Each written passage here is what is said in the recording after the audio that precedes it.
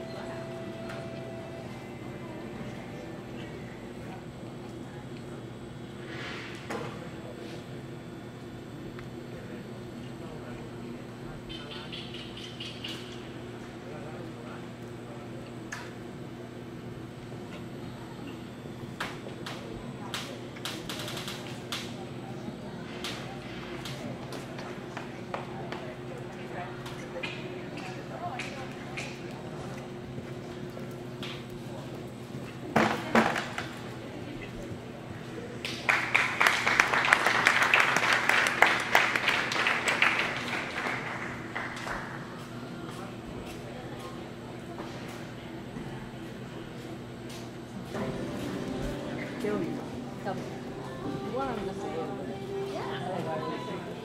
742 rides back to our second younger amateur owner round today. It's Windsor and Amanda Altheimer riding for the ABA Hunter ponies. Also scored the first round of the AO Hunter Classic. 742.